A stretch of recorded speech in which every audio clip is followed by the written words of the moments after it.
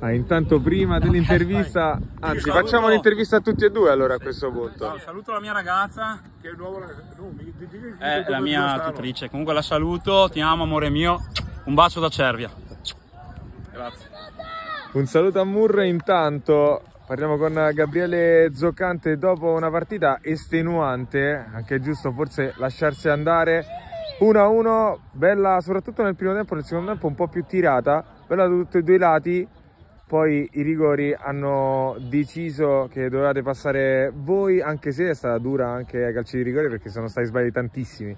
Sì, anche i calci di rigore sono stati duri perché mm, il percorso che abbiamo fatto, le partite che abbiamo giocato anche con temperature non tanto favorevoli, ma comunque insomma il caldo c'è per tutti, è stato un eh, percorso lungo, faticoso.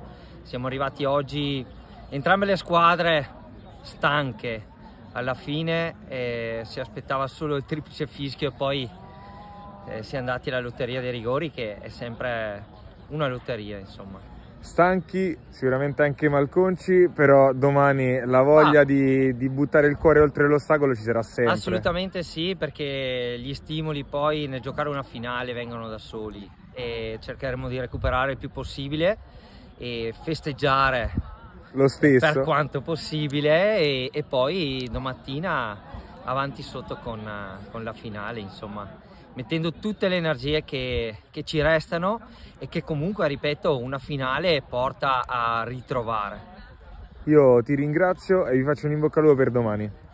Crepi.